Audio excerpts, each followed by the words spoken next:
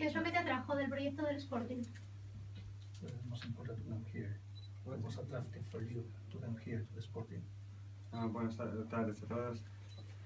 Uh, the most important things is uh, when I talk with uh, Nico and, and the coach, I see they they know what what they want and what they want to do this uh, in this uh, this year and and uh, after this, I know this is a good uh, chance for me.